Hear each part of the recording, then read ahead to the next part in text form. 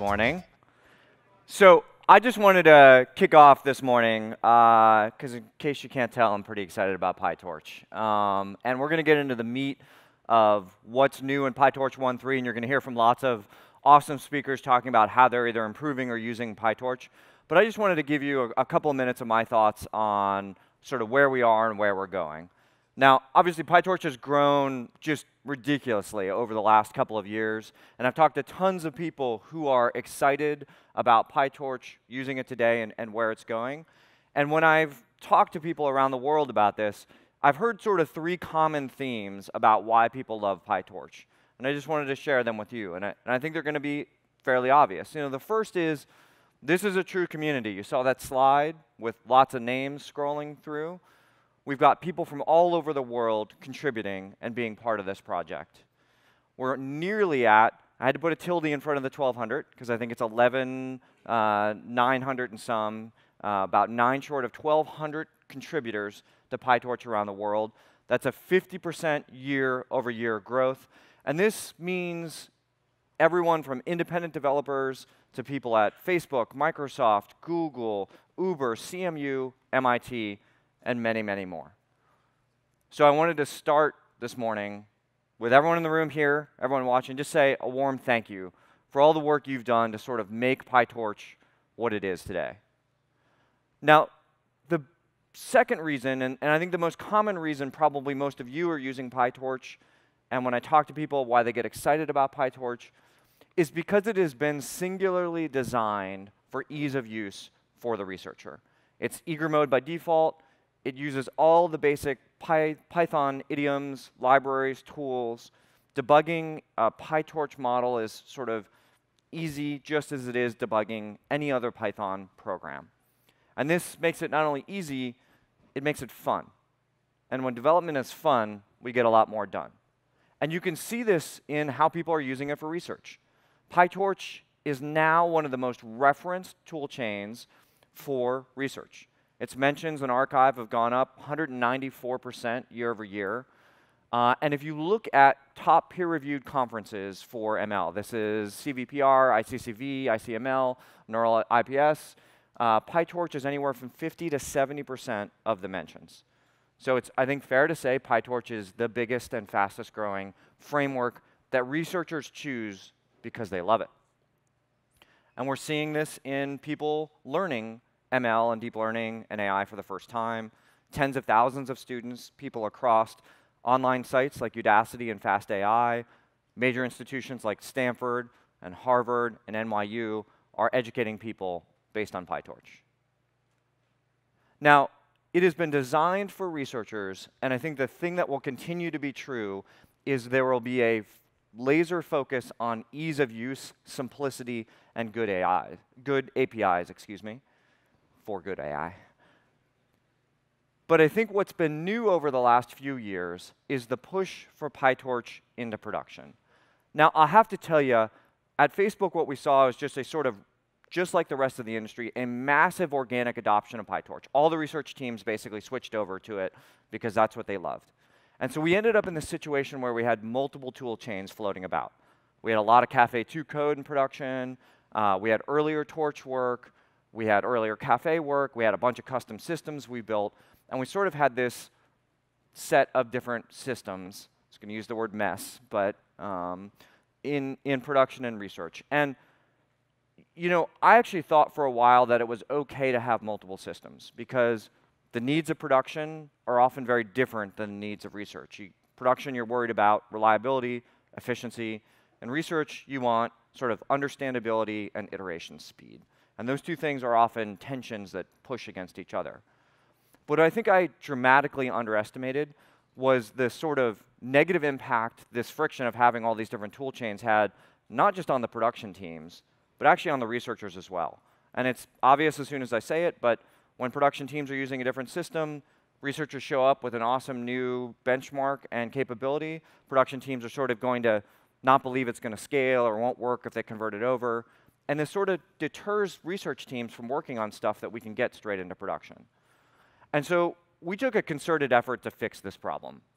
And over the last two years, there's been a full court push to sort of move all of our workflows over to PyTorch. And this means it's now the de facto tool for doing machine learning, deep learning at Facebook, not only in research where it happened organically, but in production. So the vast majority of our models are now trained on PyTorch. And this is true across multiple domains. So think CV, NLP, speech, translation. All these systems are now using PyTorch.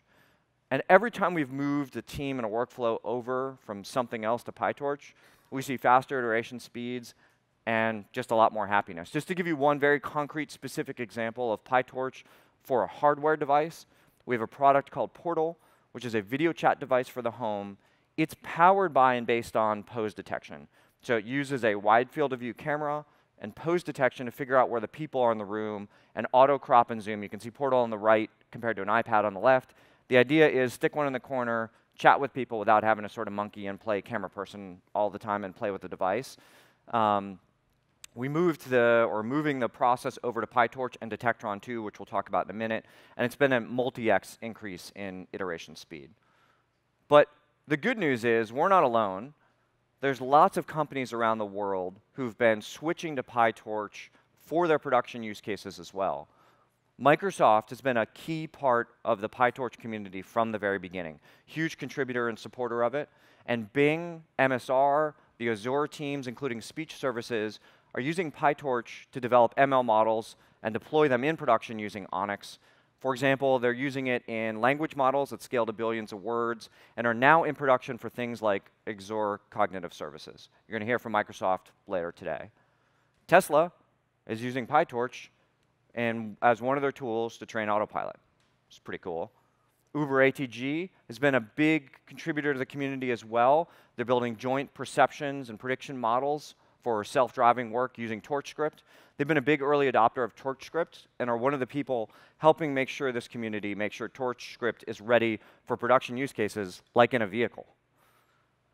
And this one I had to include just because it's fun and awesome. Mars, the candy company. Everyone here has had an M&M. Did you know your M&Ms are quality controlled thanks to PyTorch? So they've actually built CV models so that they can act the factory and make sure their stuff is of the quality that consumers expect. And that to me is just a great indication of the ease of use of PyTorch, allowing it to be used sort of across the industry. So to me, this is what PyTorch is about, a true community where commits, not dollars, determine your role in the community. We will focus on ease of use for the researcher, and we will make sure that code can find its way to production as fast as possible. But we're here to talk about 1.3, so let's get into the meat. I'm going to give you just a quick preview of the major features, and then we'll go in depth in later talks today. Uh, talking about production, mobile is huge. This is probably the most requested feature for PyTorch 1.3, or PyTorch in general, is the ability to train end-to-end -end and deploy to mobile. Of course, if you're deploying to mobile, performance is very, very important. So there's a lot of work on making this optimize well and quantization is a key tool for mobile workflows. And so speaking of quantization, quantization is a big part of PyTorch 1.3. Int8 quantization supported in three different modes.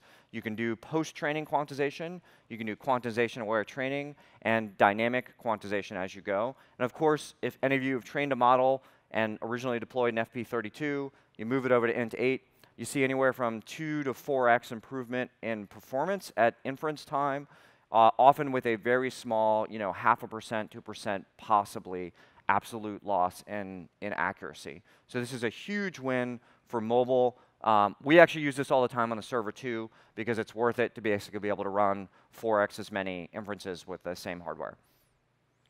Name tensors. To me, this is a good story on two dimensions. One is it's why the community works. Sasha Rush, now at Cornell Tech, uh, you know, talked about and proposed name tensors as a better way to work earlier this year, and he worked very closely with the community to build the implementation for PyTorch 1.3. Sort of speaks for itself if you look at the code here and you sort of look at A versus B and say, is it better to describe what's happening in comments or to have the code itself document what the different dimensions of the tensor are? And this, to me, is the sort of thing that just makes it easier and faster for people to develop in PyTorch, and pretty awesome. We've got some new libraries in 1.3. Let's start off with CrypTen. obviously, at both Facebook and in the industry, a huge explosion in interest in privacy aware ML. How do we get the power and the impact of machine learning, but making sure to do everything we can to protect the privacy and security of people's data? So our teams have built a library that allows us to explore all the different secure computing techniques. And this is designed so that if you're an ML practitioner or researcher, you can, but not maybe a cryptography expert, you can start to experiment with all the different techniques to understand where the different ones may apply to the specific problem you're working on. This is integrated into PyTorch, uses all the standard libraries, APIs, and sort of idioms there. Explainability is a big challenge I think a lot of us face. This is especially true as models get bigger, more complicated, and more mission critical. And so another release in PyTorch 1.3 is Captum. This is a sort of explainability toolkit that helps you understand, for example, how the outputs um, are relative to inputs or how uh, different neurons are related to inputs. It also has a visualization tool. You can see an example here of obviously categorizing a zebra based on the stripes, and that's the attention of the image that the model is using. We've also got some new frameworks. I mentioned Detectron 2 offhand when talking about uh, Portal, our hardware device. Detectron 2 is, is taking all of the state-of-the-art algorithms out of Facebook AI research and putting them into a library for all of you to use. This is open source now. Um, this makes it easier for you to do amazing stuff. I mean, you can just see the segmentation and object identification happening on the video behind me here. Also, fairseq, which has become a very popular way to do um, end-to-end um, learning for uh, language models, for things like language translation. We're expanding this to also work on speech models. And so you can more quickly iterate and build awesome speech systems. Had a lot of deep dives on all the features of, of Python 1.3 and related libraries today. But it's not just about the code itself. It's also about the ecosystem that is around PyTorch. And this is why I'm so excited. A, a deep collaboration between Salesforce, Google, and Facebook means that PyTorch is now supported in general availability for TPUs training. Single TPU is in GA today, and multi-TPU pods are in early release now. After this, including early support from Microsoft Azure, from AWS, just a few weeks ago we announced full support from um, Alibaba Cloud. This means that PyTorch is now basically a first-class citizen on every single cloud provider out there. This just means a lot more choices for you to train, deploy your models. The best news is this is all up it's all on GitHub right now. You can go check out everything I talked about. It's available for you to use, experiment, and most importantly, contribute back to. So thank you again for coming today and for everything you're doing for the community. Uh, I look forward to the in-depth talks today. Thank you all very much.